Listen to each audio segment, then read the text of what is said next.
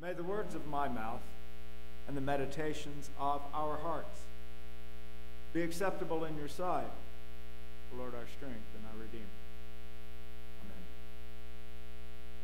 Amen.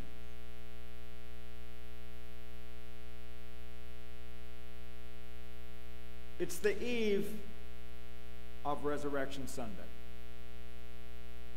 It's the preparatory liturgy for the high holy day when we and the rest of the world's Western Christian community celebrate the promise and possibility of the risen Christ, triumphantly walking out of the grave and beginning a new ministry as the holy body of compassion, faith, and charity. A miraculous resurrection that will, with the advent of the Pentecost, come to be the essence of what we all claim to be when we claim to be the church. It's the genesis of a new way to be and the beginning of a life that is not limited to the mortality of our fears and our shared willingness to be essentially dead. Jesus leaves the tomb, steps back into the world of living reality, and starts to be what he is called to be a real and present ministry in the flesh and blood body of a holy, faithful, and compassionate person.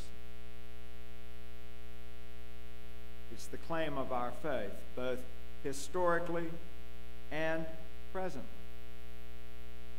When we accept it with honest and truthful integrity, it becomes our call to do and to faithfully be in our lives with the faith, hope, and charity that are the Holy Spirit of what it means to be the body of Christ in the resurrected community of faith.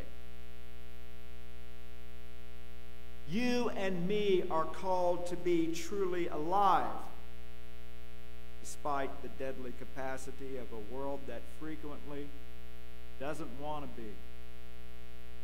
And when we're buried and expected to be cooperatively dead, our faith compels us to be alive with a passion for compassionate ministry that even resurrects itself when necessary in order to do and be the holy person that we are gathered together as one body to faithfully live as and to joyfully share.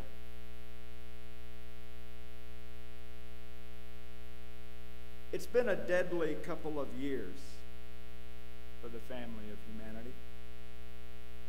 The pandemic has left us with a painful legacy and a vigilant fear of the possibility of its untimely resurgence. The loss and tragedy have been and continue to be felt by all of us who are part of our shared community. People have died, lost members of their personal families, and the whole of the world community has been sealed in a tomb of seclusion that is spiritually difficult and physically, socially, and psychologically unhealthy. We've been sequestered in a dark reality where our fragile mortality looms heavily and our relationships have suffered from the necessity that we be socially distant. We are due for a resurrection of life, as it can be when we are healthy and socially and the opportunity to leave our tombs and be free has, by the grace of God, recently come to be a truly real and present and compassionately responsible possibility. But for you and me, there's a lot more to the story.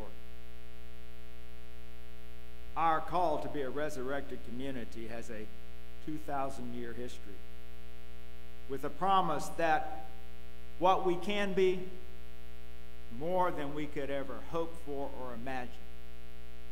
We accept the call to rise up and be God's holy people. And in a world that has only recently and sometimes reluctantly come to see the stewardship of each other as a health necessity, there is a great hope and holy gift.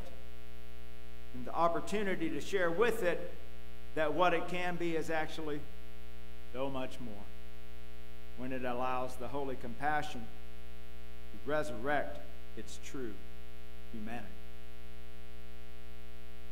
Our world has changed as we've come to be careful with each other in our mortal fragility.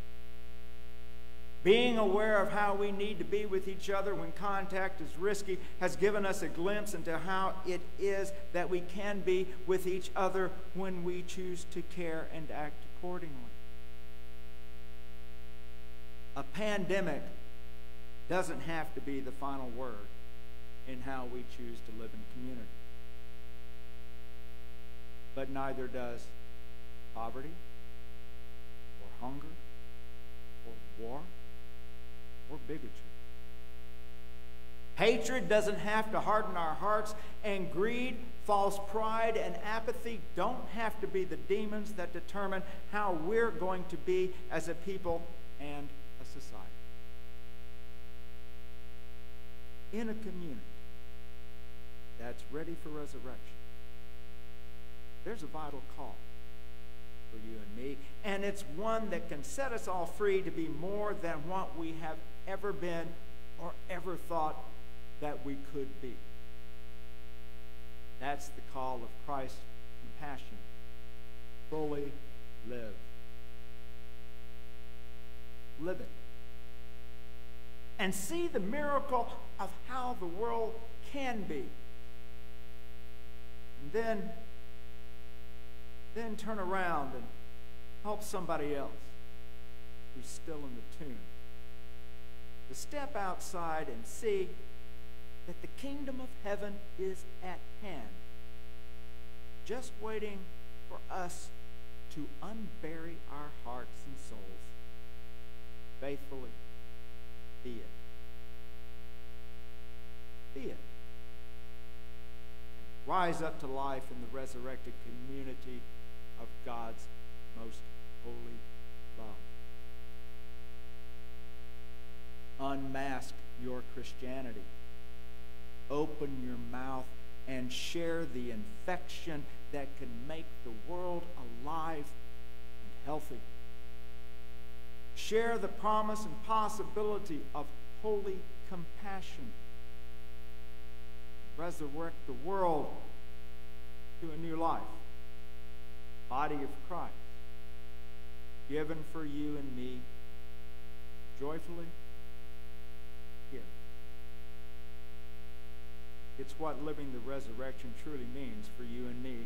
And when we faithfully do it with gratitude, generosity, the light of Christ can shine for all the world to see, and we can all begin the joyful journey to life as it's meant to be when we unbury the love of Christ and set it